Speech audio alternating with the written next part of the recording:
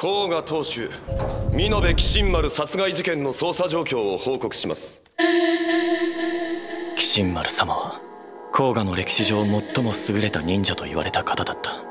お前たち伊賀忍者が殺した。紀信丸様は決して決して死んではいけない人だった。数ある里の中でも豊富な財力と近代忍術を武器に最大勢力を誇るのが甲賀の里彼らが我々伊賀の里の乗っ取りを画策していることが分かりました。信じられるわけないだろなんだよ忍者って！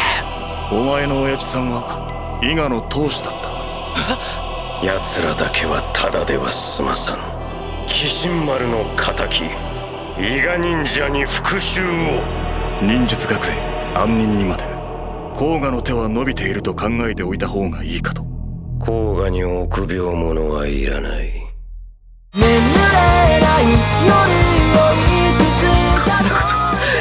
つまで続けなきゃいけないんだよ。私の父は雑賀衆の棟梁なんです。雑賀衆総出の大仕事になる。私にはね里がないんだよ。他の大きな里に頼るしかないの。私には家族がいない。だからユ香さんだけが。甲賀の狙いは伊賀に伝わる。秘伝人格かと。甲賀前当主紀信丸の暗殺。どう思いますか？伊賀に。裏切り者がいるのは間違いないかと